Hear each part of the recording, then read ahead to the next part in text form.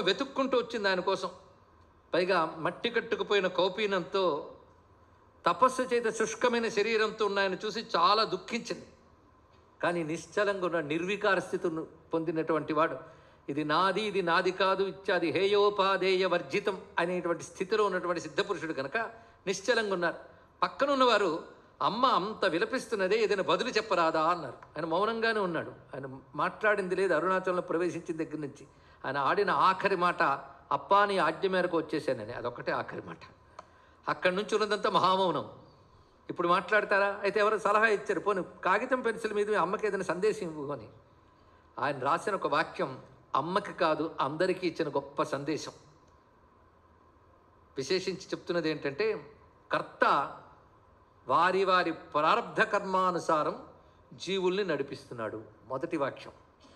ఇవి నిజానికి మహాత్ముడి నుంచి వచ్చిన ప్రతి వాక్యం. అతను సంస్కృతంలో చెప్పాడా? ప్రాకృతంలో చెప్పారా? కాదు మహాత్ములు చెప్పింది మంత్రం. మంత్రం అనగా మననం చేయడం వల్ల రక్షించేది మంత్రం. ఆ వాక్యాలను మననం చేయాలి. వెంటనే జప్మాలు కొనుక్కుని ఈ వాక్యాలన్నీ తావళం తిప్పమని చెప్పట్లేదు. మననం చేయాలి ఇక్కడ. మొదటి వాక్యం ఏం చెప్పారు? కర్త వారి వారి ప్రారంధాను ప్రారంధ కర్మానుసారం జీవుల్ని నడిపిస్తున్నాడు. ఎంత గొప్ప మాట చూడండి. కర్త అంటే సృష్టికారకుడు. అచ్చం బ్రహ్మసూత్రాల్లో మొదటి సూత్రమే జన్మాద్యస్య యత. ఆ సూత్రం ఇక్కడ కనబడుతుంది ఇక్కడ. నడిపేవాడు ఆయన. అయితే భగవంతుడు నడుపుతున్నాడని ఎవరైనా చెప్తారు కానీ తర్వాత వాక్యం చాలా ముఖ్యమండి. వారి వారి ప్రారంధ కర్మానుసారం అది చాలా గొప్ప వాక్యం. ఋషివాక్యం అంత లోతుగా ఉంటుంది. కర్త నడిపిస్తున్నా అంటే ఎవడైనా చెప్తాడు కానీ భగవంతుడు నడిపిస్తున్నా అంటే ఎన్ని ఫిర్యాదులు చేయాలో ఆయన్ని మనం.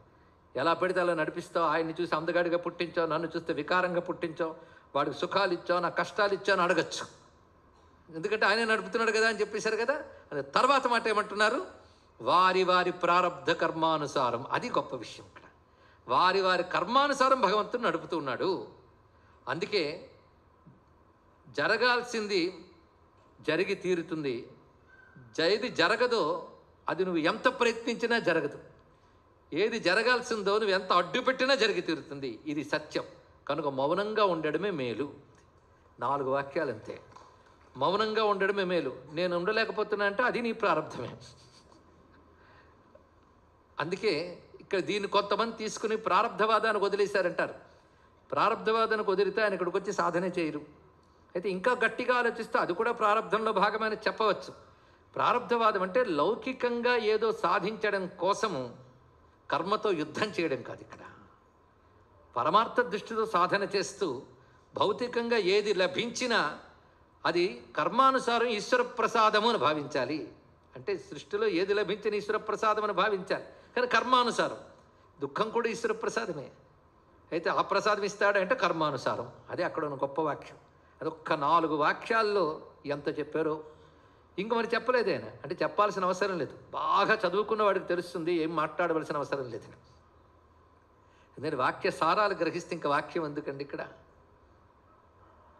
అందుకే ఒక్క నాలుగు మాటల్లో ఎంత విషయాన్ని చెప్పారో